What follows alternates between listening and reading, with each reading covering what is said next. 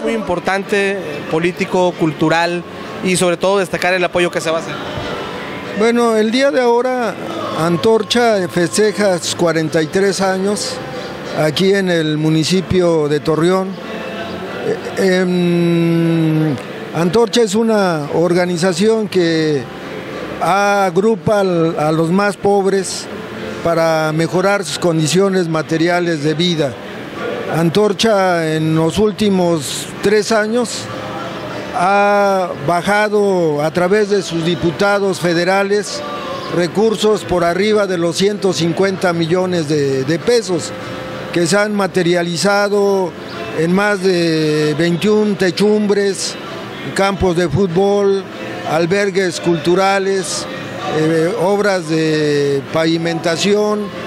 Hemos logrado a través de la SEDATU programas de mejoramiento de vivienda para cuartos, techos, baños y con los municipios y el gobierno del estado hemos logrado decenas de aguas potables, de electrificaciones, de drenajes. Hemos logrado también apoyo a la, a la vivienda, regularizando decenas de colonias que antes la gente no tenía sus escrituras.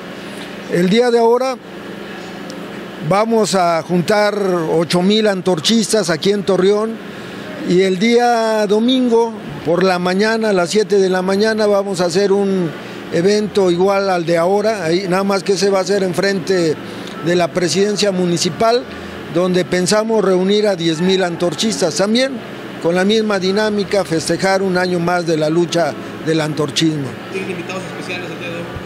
El día de ahora invitamos a los candidatos a presidente municipal, a gobernador y a los candidatos a diputados por el Partido Revolucionario Institucional.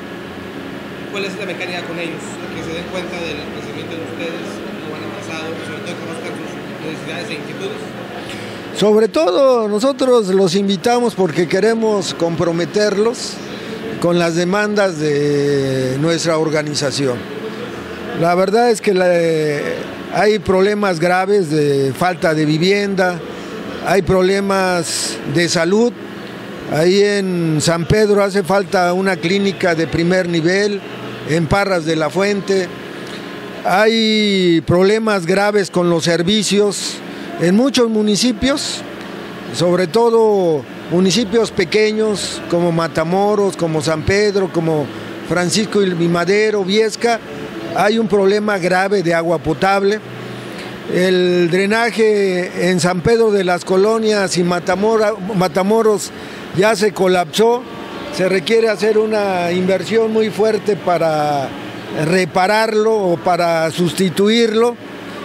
Y también tenemos el, interés de impulsar la educación en varias colonias, en varios fraccionamientos nuevos. Hay un déficit de escuelas de nivel primaria, secundaria, preparatoria. Dos tenemos varios albergues, uno en Parras, uno en Saltillo y uno en Torreón, que le dan hospedaje a, a un centenar de estudiantes que vienen de lugares re- alejados a estudiar aquí a las grandes urbes y también les vamos a pedir el, el apoyo al- a, los candidatos. También nuestra organización impulsa la cultura, el deporte. Tenemos grupos de baile, de danza, de canto, de poesía, grupos de fútbol, de voleibol, de básquetbol. Queremos que eh, las autoridades que lleguen pues impulsen la creación de la infraestructura deportiva porque no solamente hacen falta maestros, también se requieren de espacios donde la gente pueda pues practicar los deportes y desarrollar sus habilidades que son muy, muy, muchas y luego no encuentran la alternativa de dónde practicar el fútbol, el voleibol o el básquetbol.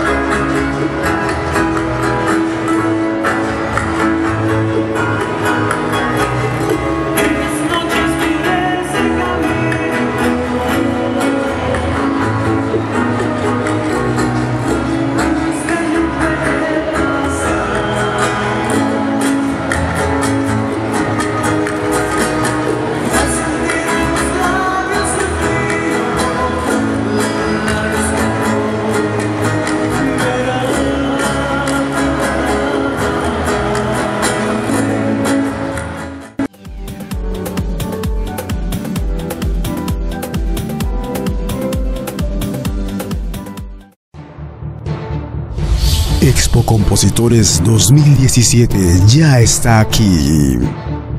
Los días 3 y 4 de octubre se darán cita a los más destacados autores de México, Estados Unidos, así como entre otros países latinoamericanos.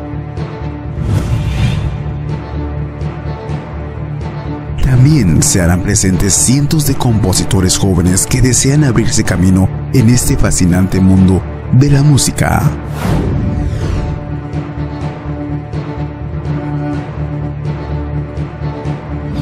El Gran Hotel, en la Ciudad de México, será la sede de este evento en su cuarta edición.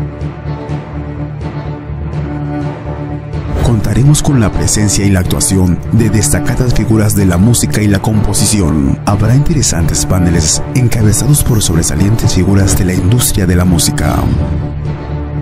Semillero de grandes talentos. Llevaremos a cabo el tan esperado concurso de canciones es sin duda una gran plataforma de apoyo para los autores. Expo Compositores 2017. Uno de los eventos más importantes en la industria de la composición y de la música. Somos creatividad. Somos Expo Compositores.